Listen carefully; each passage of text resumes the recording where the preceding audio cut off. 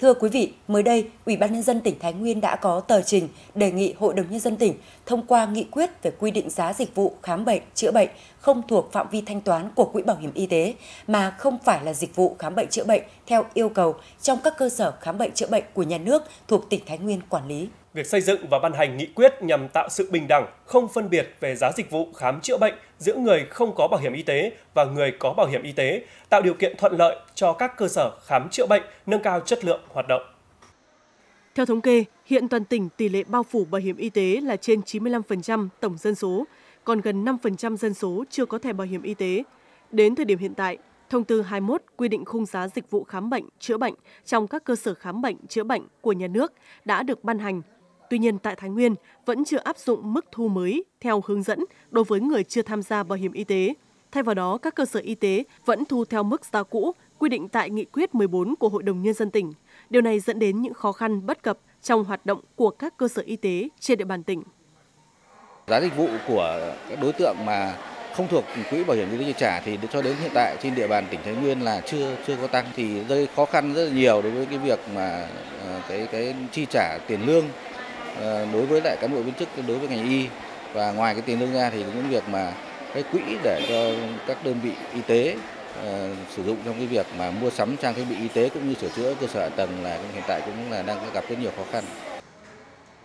Cũng theo đại diện các cơ sở y tế, việc Ủy ban nhân dân tỉnh có tờ trình Hội đồng nhân dân tỉnh ban hành nghị quyết quy định giá dịch vụ khám bệnh, chữa bệnh không thuộc phạm vi thanh toán của quỹ bảo hiểm y tế mà không phải là dịch vụ khám bệnh, chữa bệnh theo yêu cầu trong các cơ sở khám bệnh chữa bệnh của nhà nước thuộc tỉnh Thái Nguyên quản lý là phù hợp với các quy định hiện hành.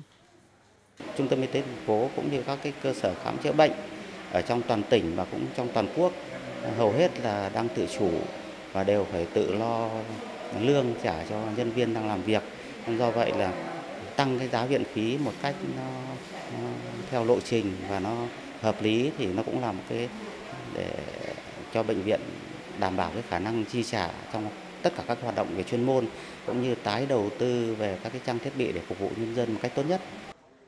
Căn cứ quy định và các khung định mức mới, Ủy ban nhân dân tỉnh đã có tờ trình gửi Hội đồng nhân dân tỉnh đề nghị ban hành nghị quyết quy định mức giá cụ thể cho 10 dịch vụ khám chữa bệnh, 6 dịch vụ ngày giường điều trị, cùng 1.940 dịch vụ kỹ thuật, xét nghiệm. Các mức giá dịch vụ khám chữa bệnh đề xuất bằng mức giá tối thiểu mà thông tư số 21 quy định. Cụ thể, bệnh viện hạng đặc biệt, bệnh viện hạng nhất từ 42.100 đồng đến 45.900 đồng, bệnh viện hạng 2 37.500 đồng đến 41.000 đồng, bệnh viện hạng 3 33.200 đồng đến 35.800 đồng, bệnh viện hạng 4 trạm y tế xã 30.100 đồng đến 32.700 đồng. Qua khảo sát đánh giá, số người dân mà chưa có thẻ bảo hiểm y tế thì đạt khoảng, chiếm khoảng độ gần 5%. Chính vì vậy thì vừa rồi thì tỉnh cũng tổ chức cái hội nghị với ban chỉ đạo liên ngành để làm sao để tăng thêm nữa cái tỷ lệ bao phủ bảo hiểm y tế trên địa bàn toàn tỉnh. À, vì vậy cho nên khi cái giá dịch vụ ờ, y tế mà không do quỹ bảo hiểm y tế chi trả được à, hội đồng dân tỉnh ban hành vào kỳ họp tới này thì cũng không ảnh hưởng nhiều đến đời sống của nhân dân trên địa bàn toàn tỉnh.